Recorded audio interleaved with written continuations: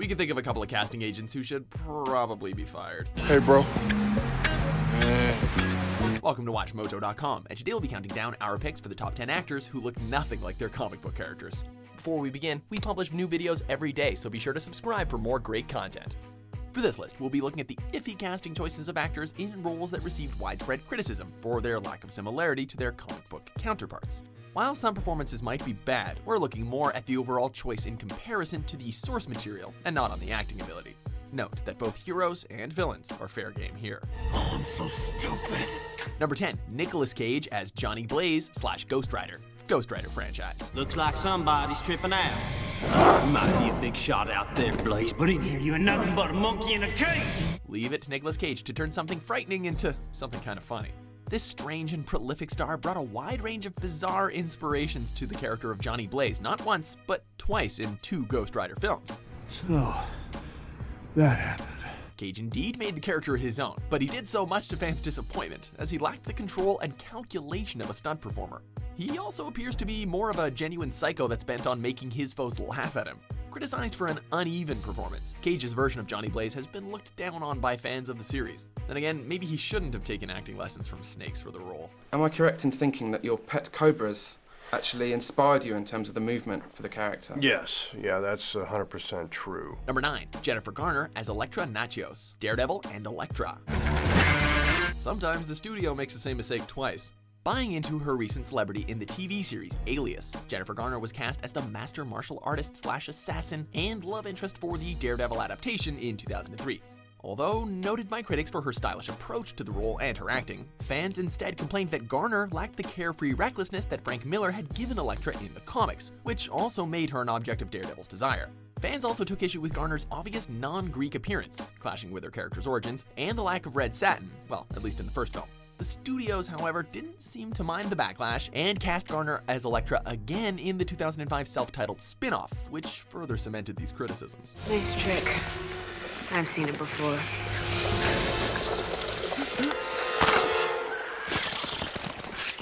Number 8, Arnold Schwarzenegger as Dr. Victor Fries slash Mr. Freeze, Batman and Robin. What killed the dinosaurs? The Ice Age! Sometimes even looking the part can go horribly wrong. When it came down to casting the role of the insane super scientist Mr. Freeze, Arnold Schwarzenegger seemed physically imposing enough for the role. Alas, then we saw the silly costume. Intended to be menacing, the character turned into a walking joke with a suit that seems more like a glam rock outfit than a cryogenic life support device.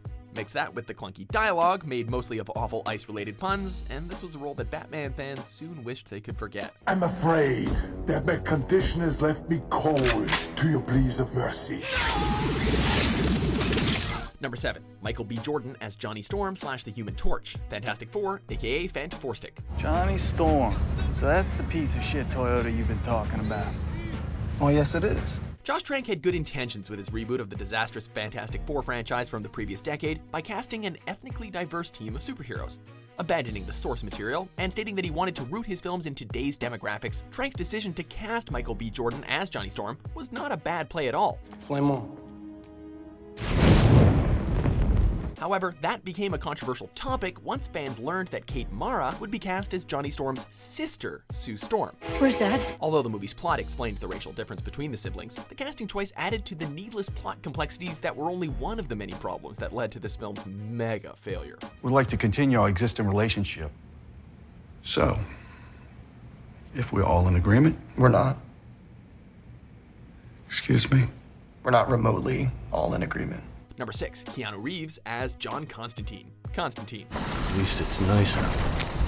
In what sounds like a case of Hollywood executives not even glancing at the source material, Francis Lawrence's adaptation of Alan Moore's gritty paranormal detective series Hellblazer ran into immediate fan troubles with the casting of Keanu Reeves as John Constantine. You're insane. Far from the original blonde haired character with similar features to the pop star Sting, Reeves also lacked the characteristic charm and genuine compassion Constantine has for humanity. Instead, opting for gritty, middle finger giving cold heartedness, this depiction of the obscure hero was a flop with many fans of the Hellblazer series. You would have thought that the producers would have known better for this one, as Constantine has been steadily appearing in the comics for a good 20 years before the film's release. But despite all this, the adaptation did go on to gross over 230 million at the box office, so that's something. Midnight, Jesus. I thought the thing was authentic. Number 5, Seth Rogen as Britt Reid slash the Green Hornet, the Green Hornet. This is my town now. My name is the Green Hornet. Fresh off recent fame from various Judd Apatow produced comedies, Seth Rogen's choice to portray the playboy come masked vigilante the Green Hornet may have seemed good on paper, but modernizing the Depression era hero is where the casting went wrong.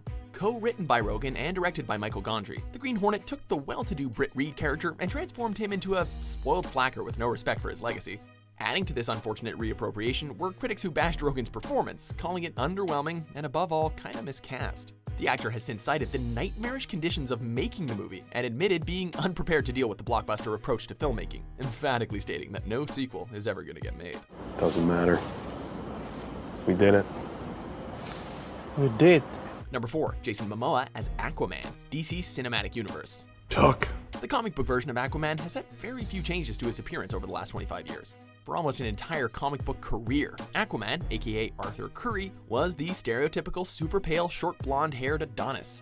That is until the appearance of Jason Momoa's Aquaman in the 2016 film Batman v Superman. Please, don't get us wrong. We're really excited to see more of Momoa's Arthur Curry on the big screen, but for die-hard fans of the character, there are literally dozens of them, are rather upset that Momoa looks absolutely nothing like any version of Aquaman we've ever seen. And no, not even that gone-awful manly 90s version. Number 3, Halle Berry as Patience Phillips slash Catwoman. Catwoman. She's good, and you know it. Whatever. Forget not looking the part, how about not even having the same character name? Along with many flaws found in this disastrous Catwoman film, casting Halle Berry was not necessarily the big problem. However, it was kind of a big insult to the DC icon to remove any association whatsoever with her origin. In this 2004 box office bomb, Berry does not play Selina Kyle, but rather Patience Phillips, a graphic designer for a cosmetic company, instead of the wily cat burglar of her namesake from the Batman franchise.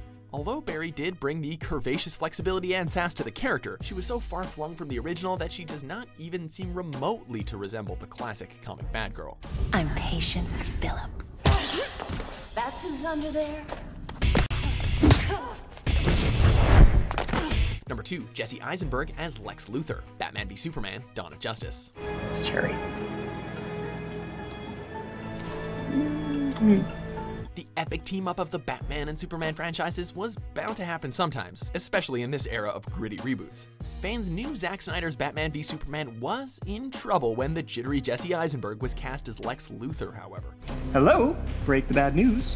Sporting long hair and resorting to childish antics, leaving jars of urine on politicians' desks, Eisenberg's performance and look were a far cry away from the psychotic corporate mastermind that is Lex Luthor. Although we did get to see Eisenberg as Luthor in all his bald-headed glory towards the end of the film, it was a bit too little too late. He's hungry. He's found us. And he's coming!